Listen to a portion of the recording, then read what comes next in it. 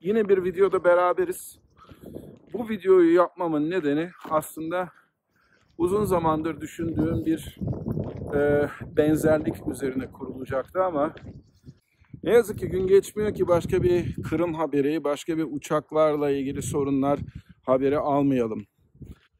Bugün öğleden sonra Frankfurt'tan İstanbul'a sefer yapan Türk Hava Yolları'nın Airbus 321 Tango Charlie Juliet Sierra Hotel kodlu uçağı anlatıldığına göre bize ilk gelen haberlere göre bu uçak indikten sonra ön dikmesinin e, lastiklerini kaybetti ve bunun sonucunda da pistte artık ilerlemeyerek bulunduğu yerde kalmak zorunda kaldı.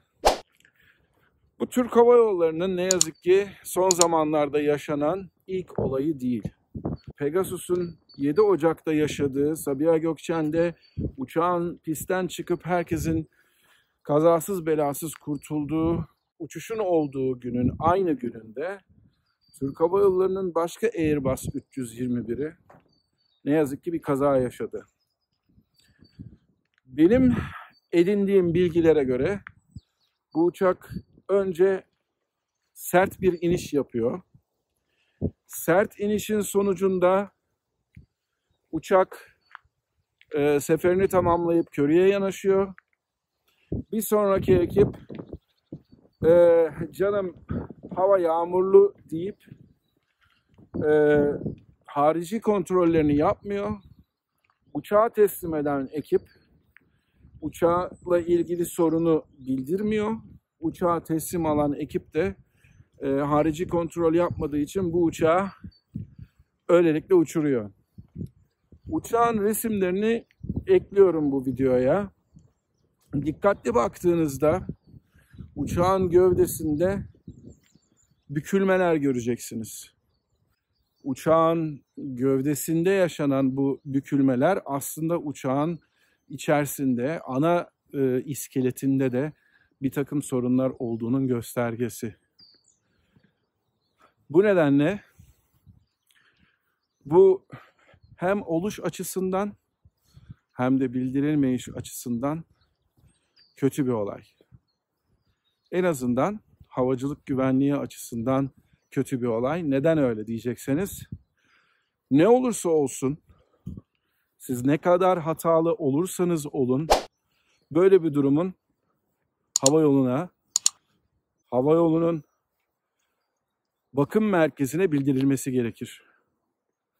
Bir sonraki ekibi ve bir sonraki yolcuların canını tehlikeye atıyorsunuz demektir.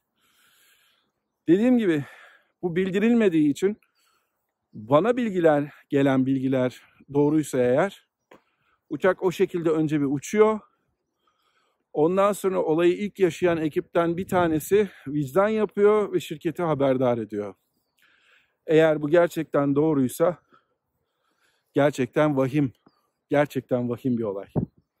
Şimdi diyorum ya Pegasus'la ilgili haberler yapılıyor. Haberler biz de yaptık. Sevgili Tol Tolga Özbek de ekranlara çıktı anlattı bir sürü şeyi.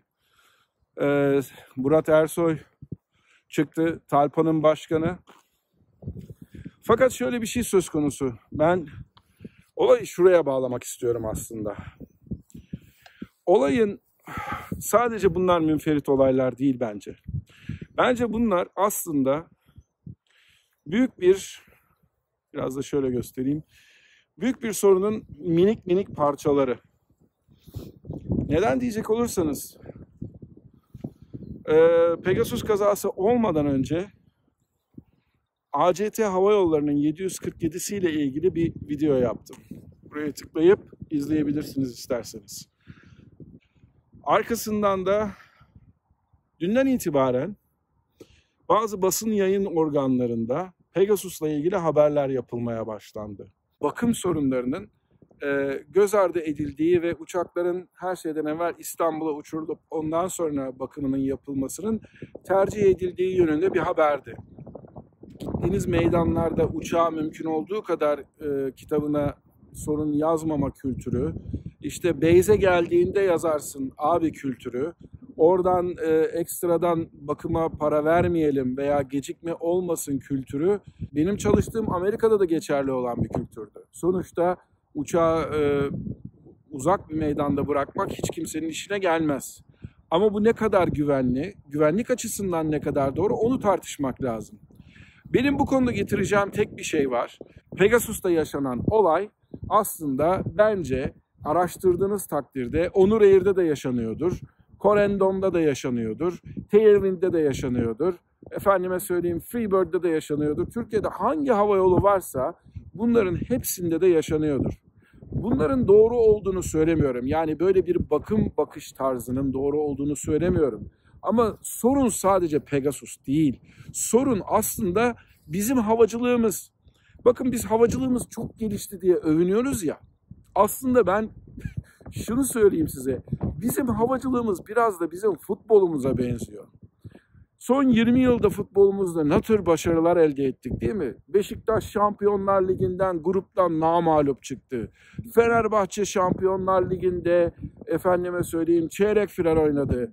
Galatasaray çeyrek final oynadı. Onlar da gruptan çıktı. Yaşasın bizim futbolumuz. Avrupa Şampiyonası'na gittik. Ama sonuçta ne oldu? Başarılarımızın devamını getiremedik. 2002 yılında Şenol Hoca'nın önderliğinde bizim takımımız dünya üçüncüsü oldu. Sonra dünya kupalarına gidebildik mi? Dünyanın en büyük ve en güzel meydanlarından birini yaptık. En azından yolcu açısından baktığınızda evet sevmeyenleriniz var onu biliyorum. Biraz daha böyle büyük meydanları görmeniz lazım dünyanın diğer yerlerinde. O zaman belki daha da anlayacaksınız oranın neden öyle olduğunu. Efendime söyleyeyim Sivas'ta yeni bir terminal yaptık. İzmir Andan Menderes 20 yıla göre ne kadar güzel bir havaalanı oldu. Ee, Bodrum'un havaalanı derseniz öyle. Kayseri'ye işte yeni stad yapıldı. Sivas'a yeni stad yapıldı.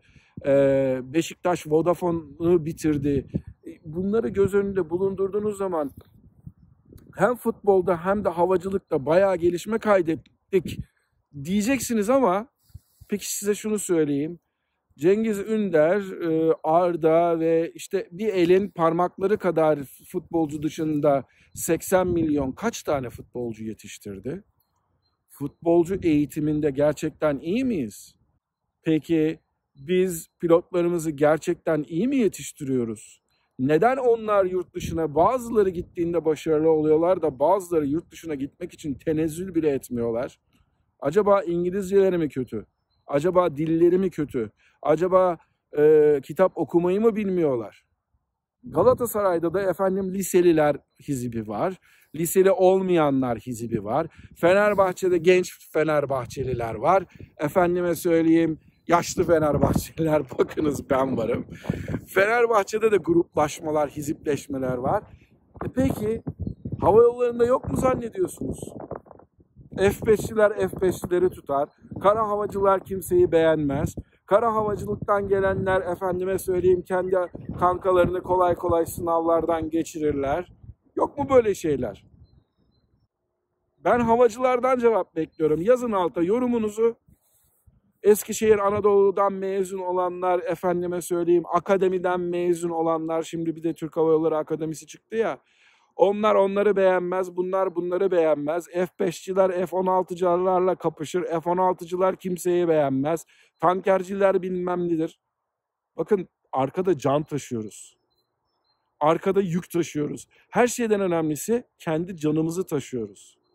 Böyle hizipçilik, böyle adam kayırmacılık, böyle adam sendecilik doğru şeyler değil. Tıpkı futbolda da olduğu gibi bir gün gelecek Hani nasıl bize UEFA dedi ya financial fair play var abi artık adam alamazsın. Öyle Roberto Carlos'muş, Pepe'ymiş unut bunları dedi ya. Bir gün gelecek bize de havacılıkta da bunu söyleyecekler.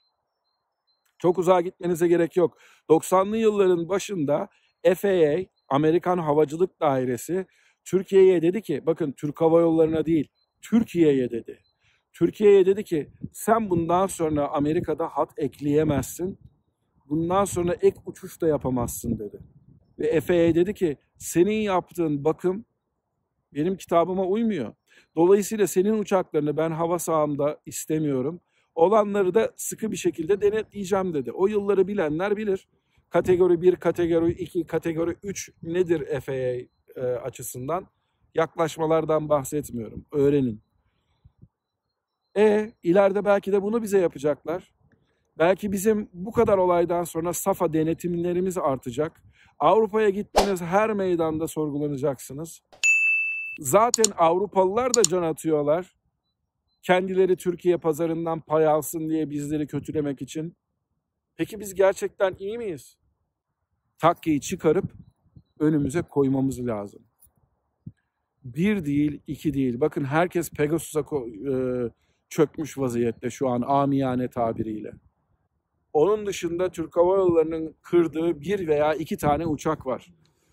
Juliet Sierra Kilo. Ne kadar zamandır uçmuyor. Neden? Çünkü hard landing yaşadı. Ne kadar zaman oldu? O bükülmüş uçak bir daha sizce uçabilecek mi? Hayır, maalesef kal oldu uçak. Kal olduğu için de büyük bir mali- maliyet bu. Bunu Türk Hava Yolları ödemiyor sadece. Bunlar sizin benim vergilerimizden de alınan şeyler. Sadece Pegasus değil sorun. Sadece Türk Hava Yolları da değil. Artık biraz kendimize bakmamız lazım. Havacılığımız gelişti mi? Gelişti. Türk Hava Yolları dünyada ilk ona girdi mi? Girdi. Ama bakın bu gidişatla devam edersek Türk Hava Yolları yarın ilk yüzde biri olmayacak. O yüzden biraz kendimize çeki düzen vermemiz gerekiyor.